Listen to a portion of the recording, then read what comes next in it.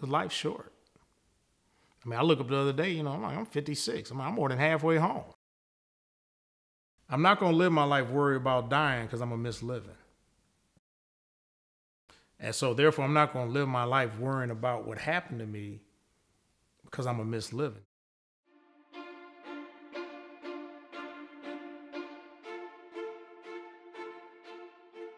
You know, I was a regular kid. You know, my unfortunately for us, my parents uh, they didn't know that they were bringing someone who was a pedophile in. He was the actually the teenage son of our our babysitter. I have two younger brothers who are five and six years younger than me, and um, somehow he took advantage of me, uh, had sex with me, had me perform sexual acts, and it was just uh, was not good but it created um, a lot of low self-esteem that I, I think I masked very well. Eventually in 1992, I finally told somebody. I never said anything for 26 years. And I finally told my wife, which went into a horrible time of panic attacks. I, am still healing after 20 years. But One of the things I, I come to grips with, and the one reason I'm doing this, is that I want people to see one, the impact it has on you for life, but you can also have a good life though. I mean, I'm a very optimistic person, but there's that part that always dwells back to that negative part. And it's taken a lot of years to realize I am okay. Uh, I still have issues feeling as though I let that person get away too, because I never said anything. Um, as I became an adult, I always wondered, did I let him get away? And that still haunts me. And also I had to deal with the anger where I didn't take matters into my own hand once I became an adult. And I really had to work on that too because there was a time in my life I, I wanted to get even. And that's where my faith and my, uh, my love, and I realized that just wasn't the right thing to do. And I had to forgive. Actually, I think he was actually doing something in, in the bedroom when they were getting ready to go out. Just, I don't know what transpired, but something did. And I remember hearing my parents arguing and he left, but they never really dug into it. I mean, this is 1966, so, but they never asked me either, other than don't let nobody touch you. But they never said, did anything happen? You know, yeah, are you okay? What? So when that happened, I basically shut it down. So I lived my life for a long time this was my fault. And that's what I mean about how you how you are.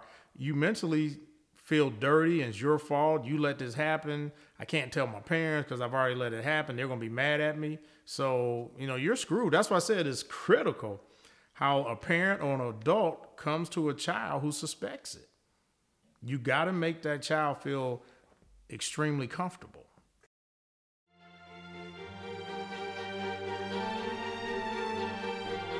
But I did question early, is that normal? But I never had those desires.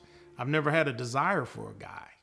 So fortunately, I learned pretty quick with I'm that no, that's not my makeup. But I do believe that's probably why I was so um, when I did start dating, uh, I was always wanted to make sure I kept a girlfriend or had two or three. I mean, that was kind of normal had one girlfriend and maybe have a couple others I dated just because it kept me feeling secure in my sexuality about what happened to me as a child.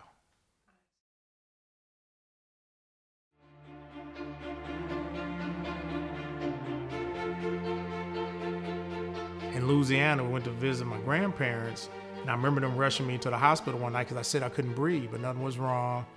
I kind of had another one at 16 where right before I got my license, so I was 15, turning 16. I started losing all this weight. They couldn't figure out why. You know, I look at that, so I think that was kind of going on. There was nothing wrong. Um, I went through a thing where I was getting dehydrated about 11 or 12. So in college, I would kind of get lightheaded or dizzy sometime. So I could, when I look back now after having panic attacks and understanding and going through it, I realized sometimes my body was trying to react And I just was able to deal with it. But the other thing I came to grips with too, I always kept myself super busy. Whether sports, something, I, I really never gave myself what I would call time to sit still at all. Because when I sit still, my mind could run. How it all happened, my wife had a fam, somebody in her family had been sexually abused. We finally found out. So I finally said, well, you know, that happened to me. But I was okay at first. You know, I said, you know, it happened to me as a child. I'm thinking, oh, you know, that wasn't bad. I'm okay. You know. About a month later, well, first what happened, I started feeling like I was no longer in control. Just in general. I kept going, I don't feel like I'm in control anymore of my life. You know, I would say those things to myself. I started feeling out of control. But what was really happening, the panic attack stuff was starting to happen. So I'm driving down Rockbridge Road, I'll never forget. I was on my way to the Y to work out, and I was on the cell phone with a guy. Then all of a sudden, I, I couldn't breathe. I couldn't, I, I mean, it was horrible. So I called 911. They came, hooked me up, said, man, you're fine. And here's the other thing I look back now. I went to my doctor, this 1992, it was an older doctor. He's went, oh, you're under stress. Take some of these pills, you'll be fine. So I'm like, oh, okay, cool. You know, stress. Well, I'm still kind of getting through it, not thinking much of it, because I'm like, ah, this one of those things. And about a month later, I went out of town for a uh, leadership meeting. And my wife didn't go with me, I'm by myself. And I'm at this dinner for probably 50, 60 of us. Happens again. All of a sudden, I can't breathe. I'm like, man, I'm dying. Can't catch my breath. Panic. Guy takes me to the hospital. Say, you're fine. I spent the night. I was didn't sleep. I'm starting to get the shakes now. And I had to drive home four hours from uh, Sea Island. Five hours. That was the longest ride of my life. Cause I'm I'm having them every so often now driving. I get home, I just like fall apart. Uh, I had trouble driving by myself for a long time because my first one was driving. I had trouble being in a crowd for a while because even today I can't be in the center of a crowd no more. I have to now always be on the outside. I developed some claustrophobia from it. I don't even know if I could play football now and be under a pile just because of that feeling. And I still didn't know what was going on. Then I talked to a, a psychiatrist at my church, and she said, You might be having panic attacks or something.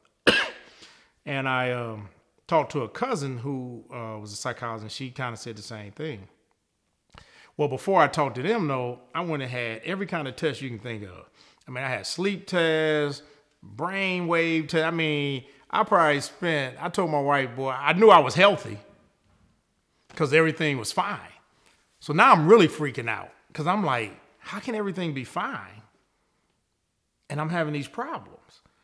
I mean, all of a sudden, my muscles would just start just twitching uncontrollably.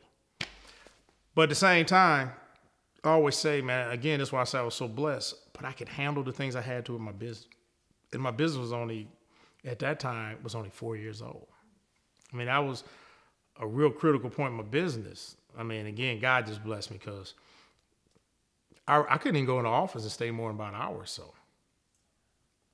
I would just, because I would just, and then I had to get on, you know, some medication to try and help. Um, 1992 was was just horrible. Yeah, I let my kids know because they were trying to figure out why is dad crying. I mean, I, I would just cry. I mean, it was horrible. I mean, but I let them know what happened. But I told them in such a way that you know, as they got older, I told them more. I mean, I really made sure they knew why and what, and always talk to us. So we're very, um, we have a very open family. There are no secrets.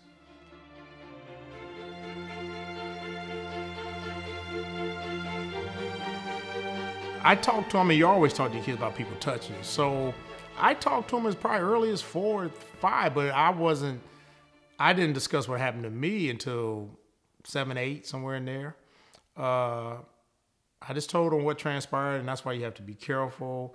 That's why I want you to know you can talk to us about anything.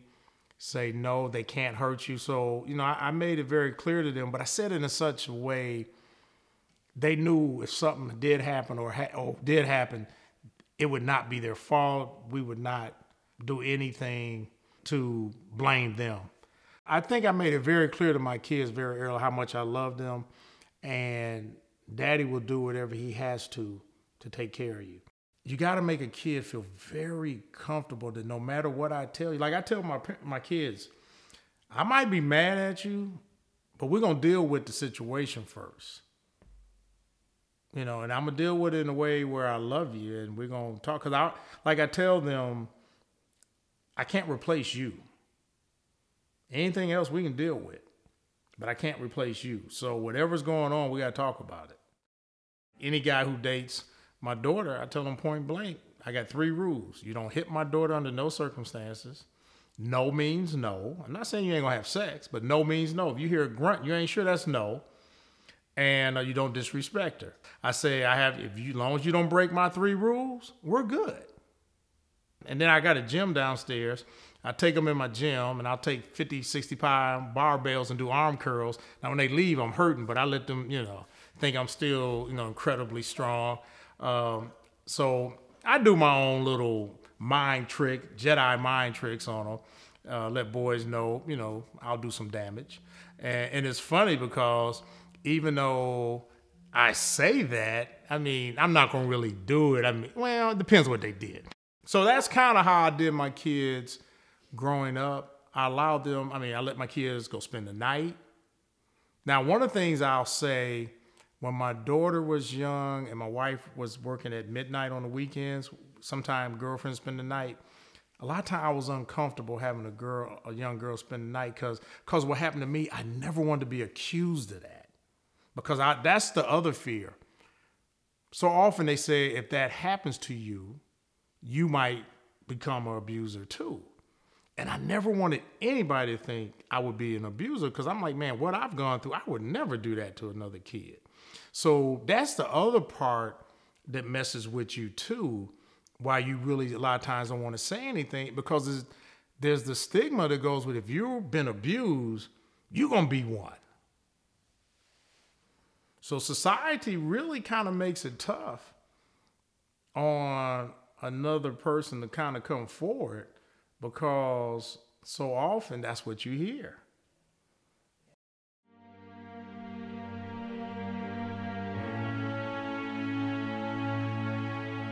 So a lot of um, people who are who abuse people, a kid, they're like, "Oh, I apologize. I mean, it only happened once. It only happened twice. I mean, I mean, they're okay. They're over it. So they still think you know, well, I apologized or I bought them something or, you know, I paid for college or something.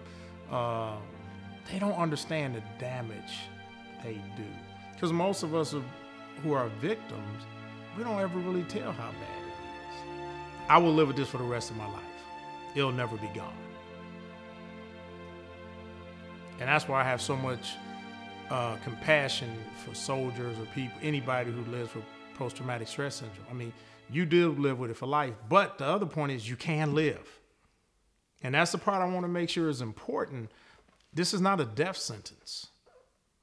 It's just a part of your life you have to learn to deal with, learn to control, uh, learn to accept the triggers.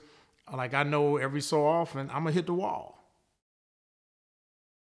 I just get kind of, I just need to stop, chill out. I just, I'm just kind of pressing and not really going anywhere. And that's why even today I come up like with real athletic challenges like half marathons. Now I'm in the biking. I just came off a 100 mile uh, bike trip plus in California. So I'm always finding things where I had to be disciplined for like six months and push myself physically. And it makes me be alone with myself mentally.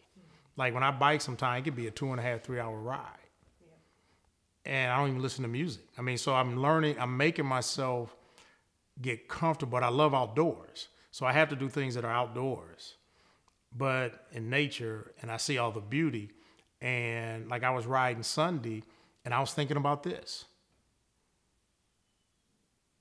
But I I'm learn but I'm really getting to a point that I like being alone mentally. For years I never wanted to be alone mentally. So I make these type of physical things because it makes me have to be alone physically and mentally. When you're a child, you don't think about it as much. But I think when you become an adult, and again, I'm only talking from my point of view. I, I don't know how other people feel. But for me, there's no closure. Because I don't know, was he ever punished? You know, did I let him do this to other children? How come I didn't have the courage to speak up so he could have went to jail? So those things eat at you. That's why even revenge doesn't really work because you still haven't brought closure. Even if I could go get even, that's not going to solve my problem because now I got another issue to deal with the guilt of what did I do. So to me, the important part is you got to be able to really forgive. And that is forgive yourself. Forgive that person in a way that you can move on. And then you just got to have trust if you don't have the courage to bring them. And I understand that. Um, trying to get justice in the legal system, you just got to let it, you, you, you can't spend your life worrying about getting even. You got to believe in a higher being that's going to handle that. Or as I, you know, or as karma. I mean, it's going to work itself out.